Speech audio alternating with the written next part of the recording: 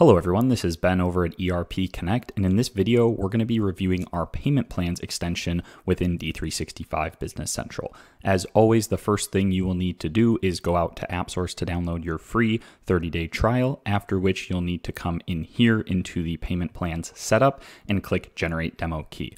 Also remember to add the ERPCC permissions associated with each application, either the user or the setup, depending on the user, as well as our permissions to common objects for all users.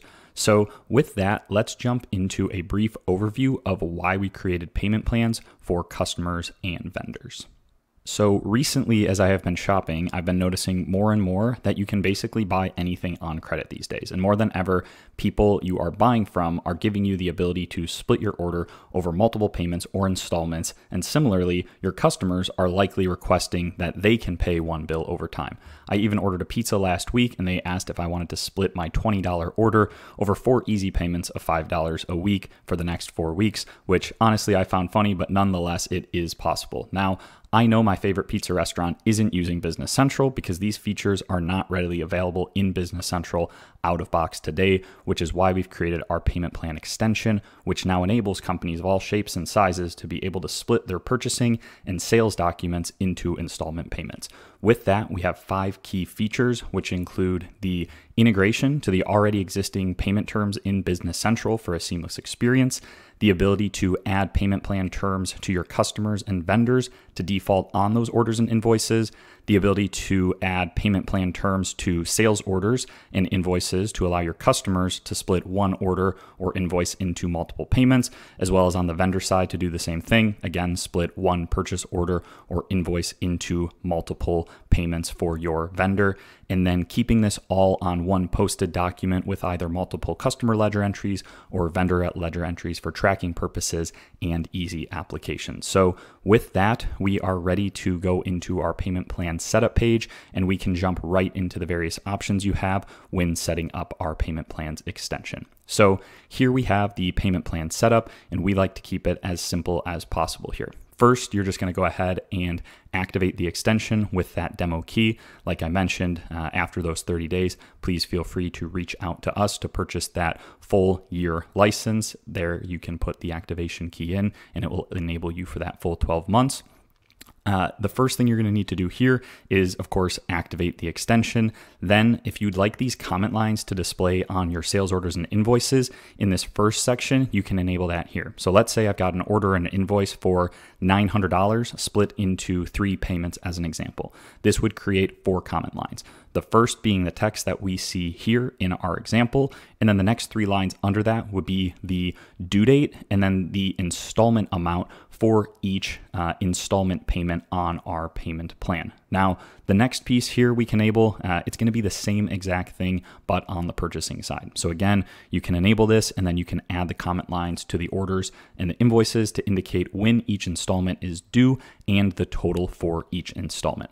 Whether the comments are turned on or not, the necessary customer ledger entries or vendor ledger entries will still be created, allowing you to apply cash individually to those various ledger entries while still maintaining the one order or invoice document, again, either with those comment lines or not, depending on what you select here. All right, so with that, the next piece we'll need to do is go ahead and actually add some payment plan payment terms that we can then utilize to either default on customers or vendors or simply just use one off on any uh, sales order or invoice or purchase order or invoice. So the first thing we're gonna do is come up here to our search and navigate to our out of box payment terms.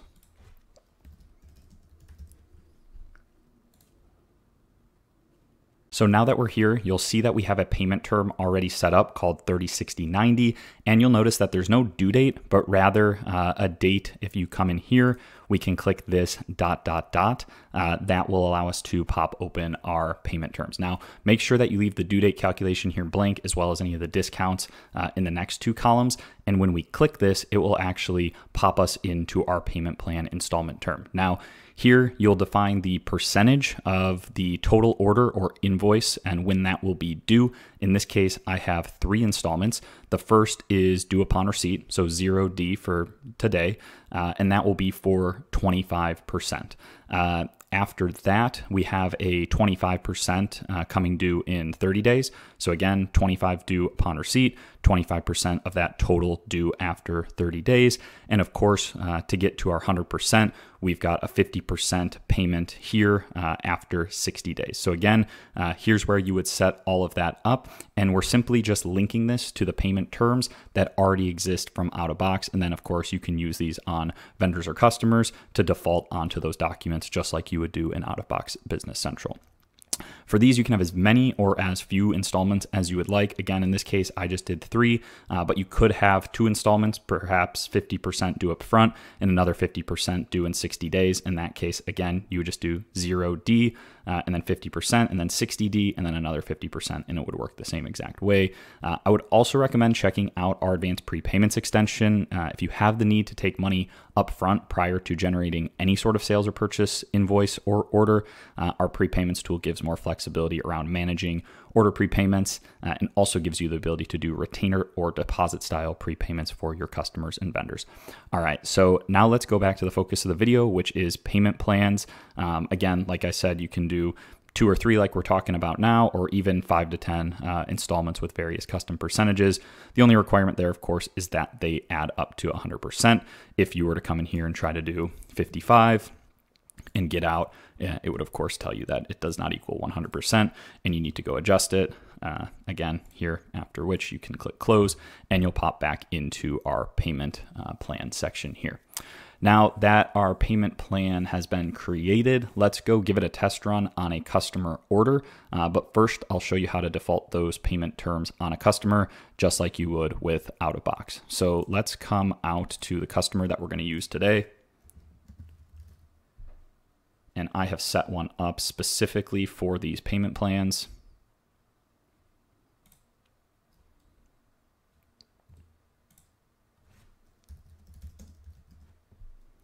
And if you just go ahead here and click on your payment plan customer and scroll down to the payments tab, we'll see just like in out of box business central. You can uh, default that there. It's literally the same exact field payment terms code. That 306090 as we just saw is going to default that payment plan or that installment plan anytime this customer creates an order. So with that we are ready to go ahead and create a sales order and we're going to do that directly from the customer card in this case. So just go up to new document and click on sales order for the next part of our demo to actually use these payment plans all right, now that our sales order has opened up here, uh, I'm going to switch this to 3-1 just to show you how easy it is when we're calculating the dates just to do that 0, 30, 60 on our payment terms. So everything will just be 3-1 here. Uh, and of course, those dates are going off of the, the posting date, uh, but we'll just make it simple and put everything as 3-1 here. So I'm going to go ahead and put an item on our order. Let's say it's this Microsoft Surface 8. Uh, this is a pop-up note from our advanced notifications tool. I'd highly recommend checking that out as well. Uh, I'm just going to put this in Dallas. We're going to sell one of them and let's just do 1200 to make it easy. So it's it'll be 300, 300, 600 in this case. Now, the other thing I should probably mention uh, is if I come down here into that 30, 60, 90, uh, if I click on this, I can quickly review what my uh, installment plan or payment plan calculations are going to be. Uh, if you need to, you can change these on a one-off basis on the actual order without having to create a new payment term. So let's say uh, we're going to give this customer something special, and that first payment uh, isn't going to be due actually for 10 days. It'll still be that 25%. Um, and again, if you needed to add more lines or change the percentages here, uh, you could absolutely do so. So now I'm going to have 10, 30, 60. Again, still 25, 25, and 50. And after that, we're good to go and actually post this. Uh, I talked about prepayments earlier. I believe I do have a prepayment on this customer, so I'm just going to exempt them from the prepayment so that we can put it on their AR terms. But if you're not using prepayments, don't worry about that. It will just process like normal. And at this point, I'm just going to post it. I'm going to do the ship and invoice like normal. And at this point, it should create us our document. And I'm just going to view that invoice real quick. And like I had mentioned earlier, uh, we can see here we have that Surface 8. The total for the posted sales invoice is still going to be that 1200, But now what we're going to see here is we've got uh, $300 due by 311, uh, another 300 due on 331, and then 600 due on 430. So again, because I updated that on a one-off basis, our first payment uh, is now not due for uh, another 10 days.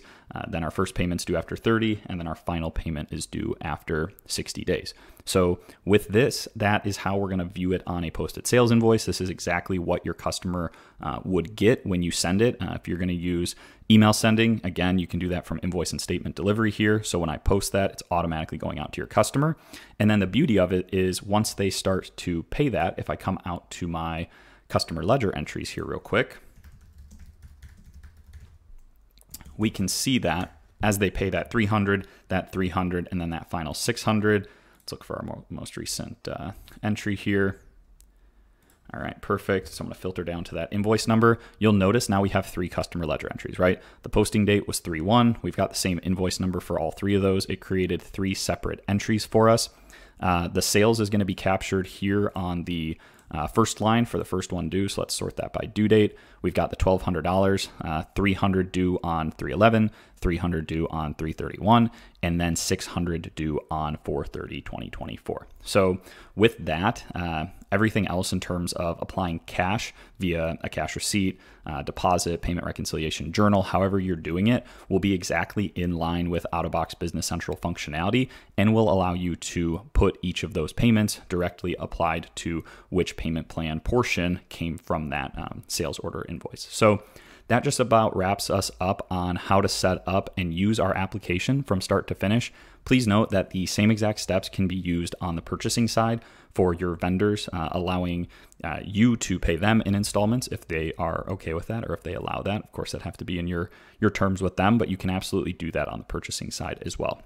So, just as a quick recap from the video, I want to uh, again highlight the five key features of payment plans, which include integrating to the already existing payment terms in Business Central for a seamless experience, adding uh, payment plan terms to your customers and vendors to again default on those orders and invoices, adding payment plan terms to sales orders and invoices to allow your customers to split one order into multiple payments same thing, adding payment plan terms to purchase orders and invoices to split an order uh, from your vendors into multiple payments. And then keeping one posted document, as we saw, with multiple customer ledger entries or vendor ledger entries for the tracking and the payment application purposes.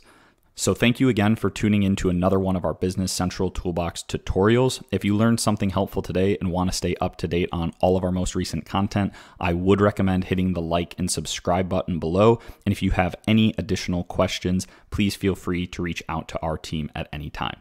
Thanks again for joining, and we look forward to helping you optimize Business Central with our Business Central Toolbox.